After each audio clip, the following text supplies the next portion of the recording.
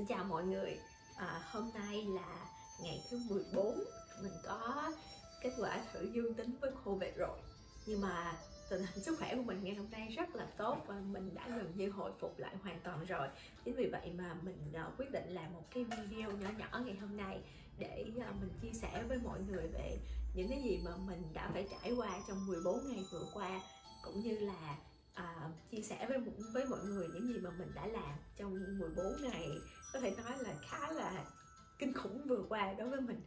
Thì à, mình cũng muốn nói trước là cái video này của mình chỉ có giá trị để à, tham khảo thôi. À, mình không có muốn khuyên mọi người hay là nó có giá trị y tế gì hết.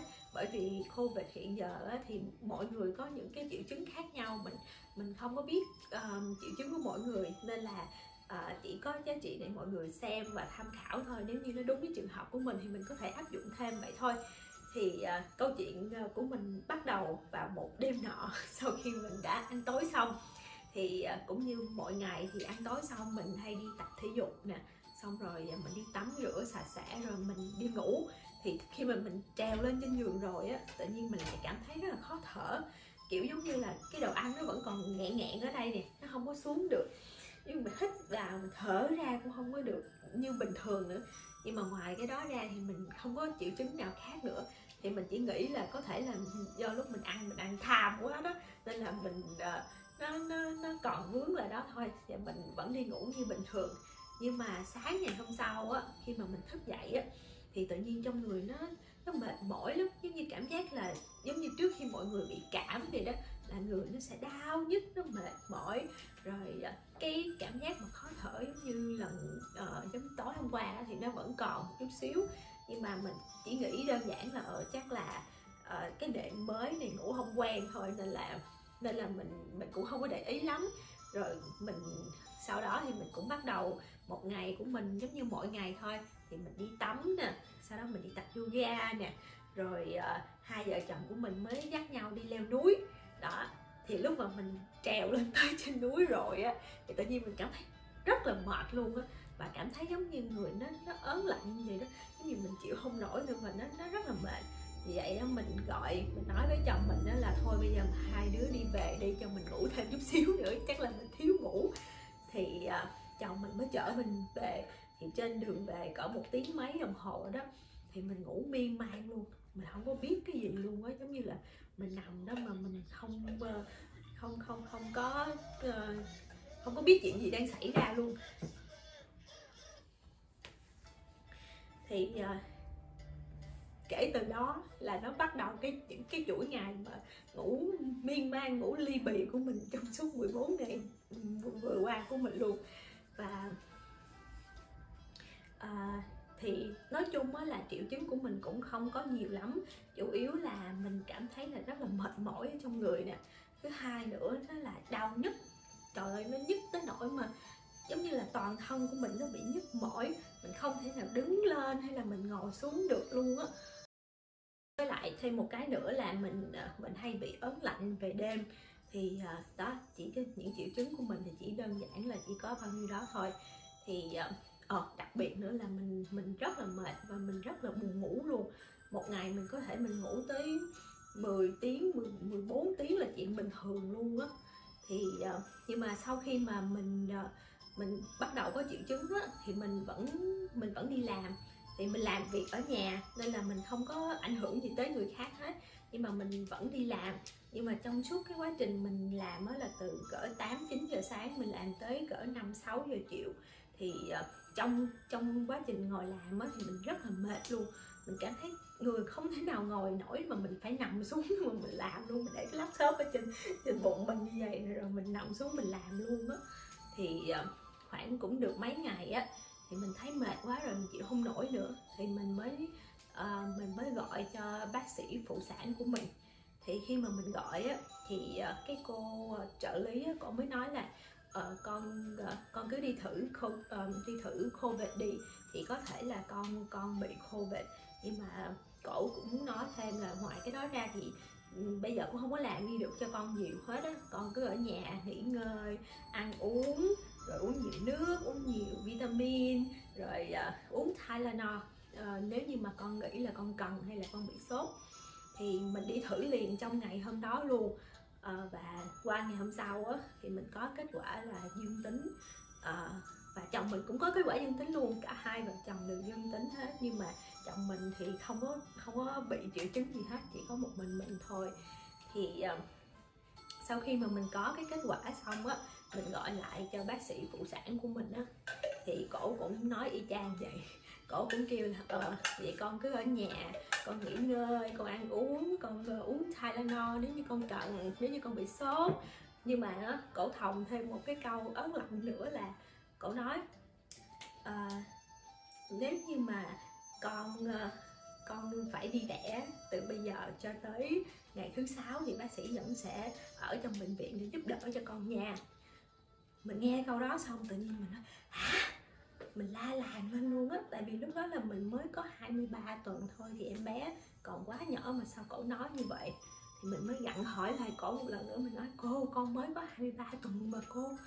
Thì cổ mới nói là ờ, bây giờ mình cũng không biết được đâu con. Ờ, mình không biết là covid nó làm gì thì cô chỉ dặn trước cho con để con chuẩn bị thôi.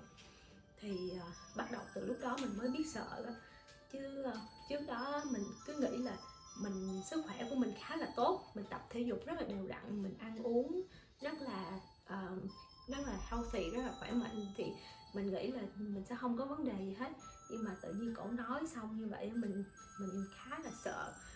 Rồi uh, mình quyết định là mình sẽ nghỉ làm mình ở nhà mình ăn và ngủ và mình mình tập thể dục lại thôi để mình giữ gìn sức khỏe của mình thôi. Thì uh, bắt đầu khi mà mình nghỉ làm rồi á thì một ngày là mình ngủ từ 14 cho tới 15 tiếng một ngày luôn. Cứ sáng mở mắt ra là ăn sáng xong khỏe khỏe được chút xíu cái tới trưa trưa cái bắt đầu nó mệt là bắt đầu mình ngủ tiếp. Mình mình mình cứ ờ, giống như là không có sức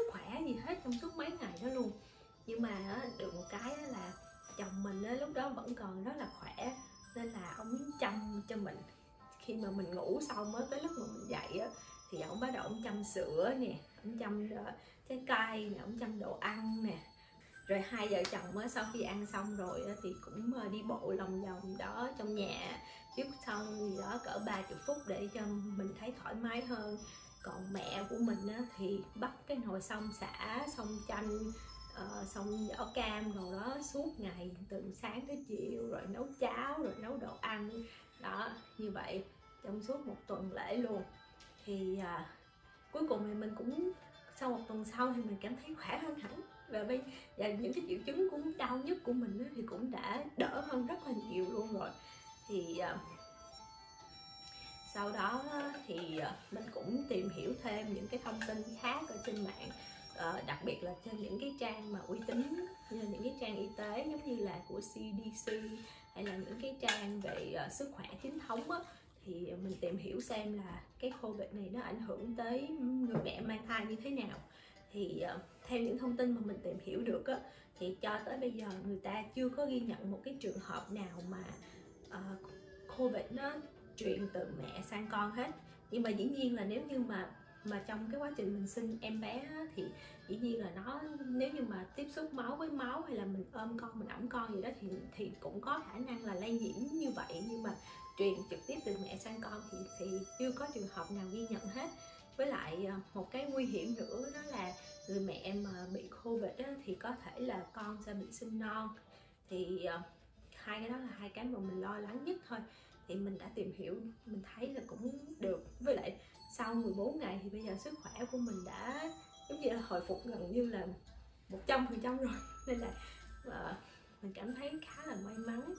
Và mình muốn chia sẻ với mọi người thêm nữa đó là những cái những cái những cái đồ ngoài cái việc ăn uống ra mà mình đã dùng trong uh, trong một tuần trong hai tuần vừa qua. Thì uh, thứ nhất đây là cái súng súng bắn nhiệt độ. Thì đây mỗi ngày là chồng mình đều ờ, đè xuống là thử nhiệt độ cho mình hết mấy lần một ngày luôn. Để kiểm tra là nếu như mà nhiệt độ mình nó cao quá, chắc chắn là phải đi bệnh viện rồi. Cái thứ hai nữa, đây là cái máy đo oxy. Một ngày ông đè ra, ông thử mình không biết bao nhiêu lần luôn. Để vô trong đó thì ở đây nó sẽ nhảy lên cái số ờ, oxy với lại cái số nhịp tim của mình. Thì ờ, đó, để một hơi thì nó sẽ nhảy ra thì nếu như mà cái số này nó dưới ờ, nó dưới 92 93 gì đó, thì là khá là nguy hiểm rồi. Mình cần phải đi gặp bác sĩ liền.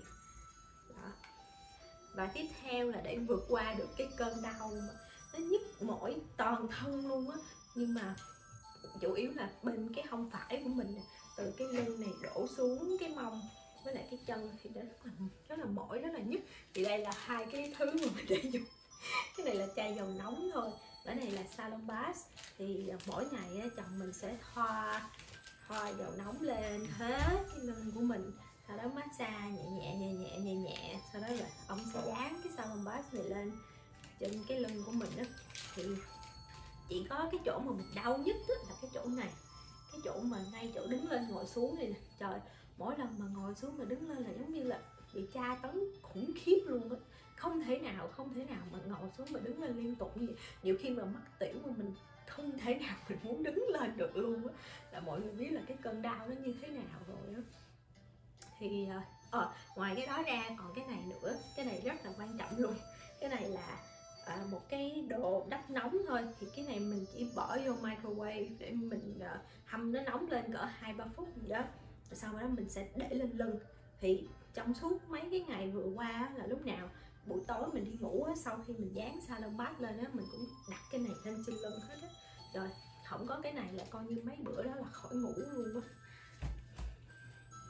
Đó thì ờ, đó là tất cả những dụng cụ mà mình đã dùng thôi. Nhưng mà mình nghĩ cái việc quan trọng á là phải có cái sức khỏe và phải có một cái tinh thần thật là tốt thật là mạnh mẽ thì uh, mình mới có thể vượt qua được 14 ngày vừa qua. Nó, uh, nó, nó, nó đỡ khó khăn hơn.